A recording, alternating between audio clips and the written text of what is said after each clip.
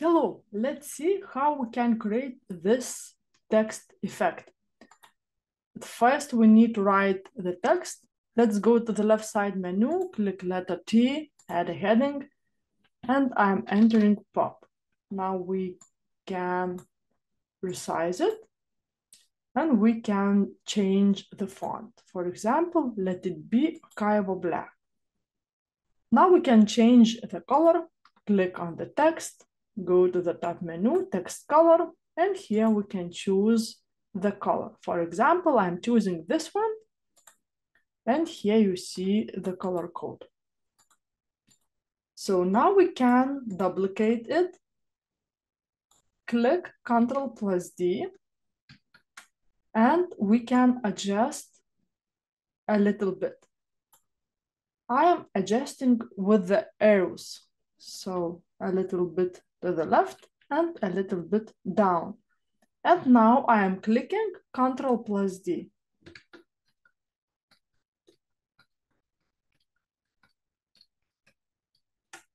Okay, now we click on, on the text and go to position. Here on the top menu, we see position, choose layers, and now we need to take the layer and drag it up.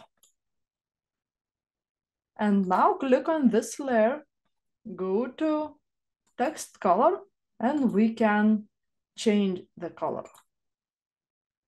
We can search for color.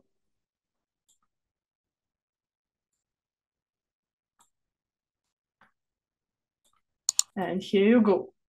If, if we want, we can select all and click group. And here we have grouped text effect. Or we can duplicate this page, click Ctrl plus D, and now we can ungroup it. Click on first layer. We can see that we choose the first layer. And now we can go to effects and we can choose effect.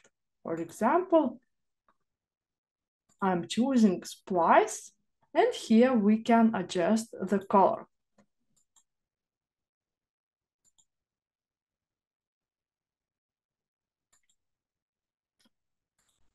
And now we can click on the text, go to text color, and I'm choosing it white.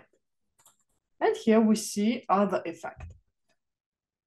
If we want to download this effect, we can go to share button, click download, we can choose JPG or PNG file. We can select the page and click done. And here you go. I hope you like this quick Canva tutorial and see you next time.